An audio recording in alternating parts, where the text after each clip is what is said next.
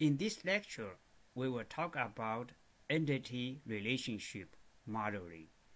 When we do entity relationship modeling, we will create an entity relationship diagram. There are two notations for entity relationship diagrams, UML and Crow's Foot. In an entity relationship diagram, there are entities, attributes, and relationships.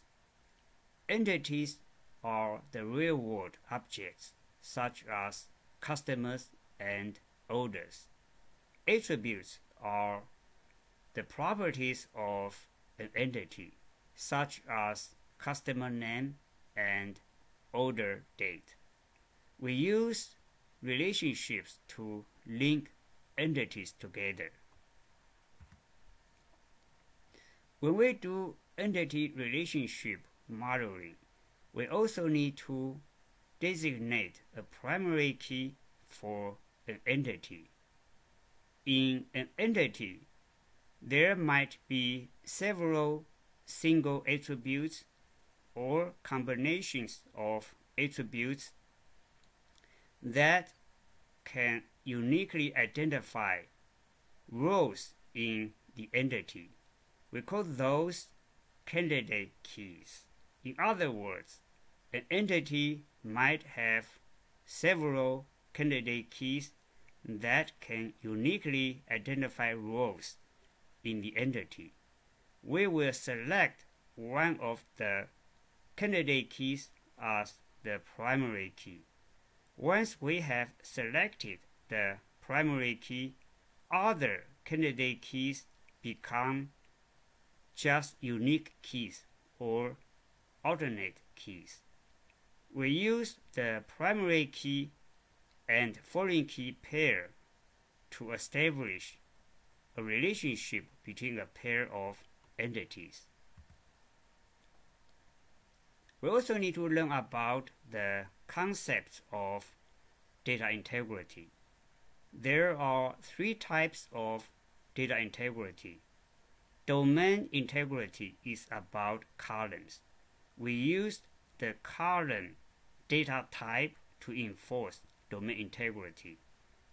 Entity integrity is about rows. We use the primary key to enforce the entity integrity.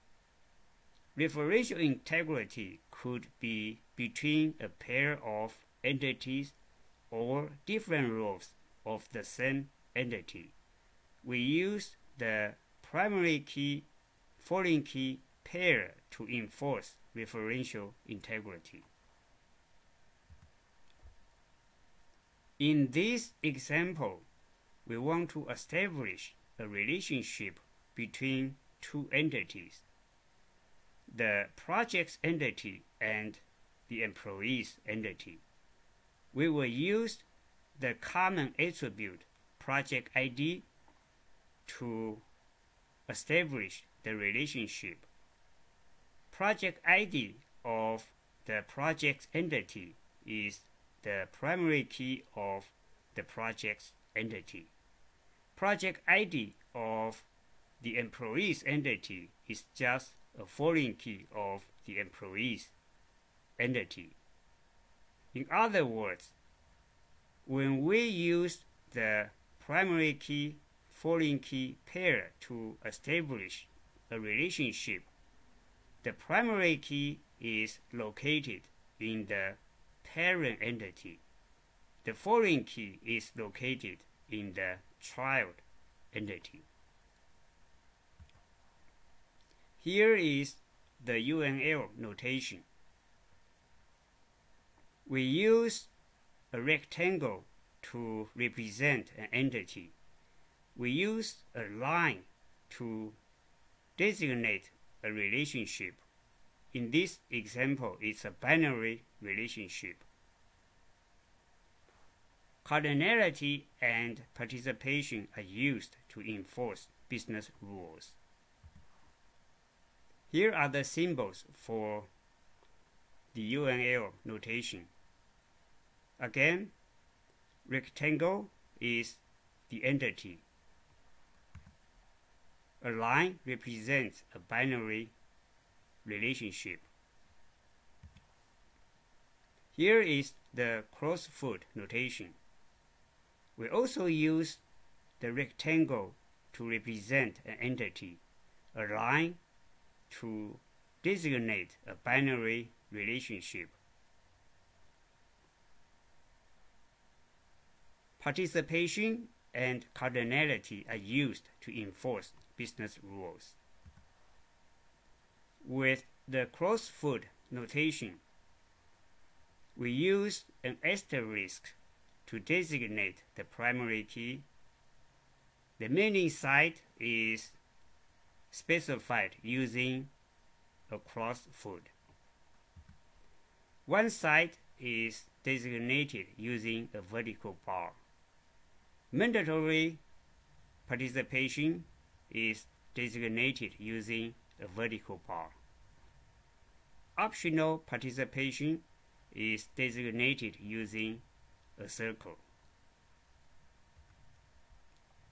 Sometimes entity relationship modeling is also called data modeling. When we do data modeling, we need to have the technical knowledge about modeling. We also need to know the business. Keep in mind the modeling process is an iterative process. If we can do modeling well, we can make sure that our solutions will meet the expected business requirements. This concludes the lecture on entity relationship modeling.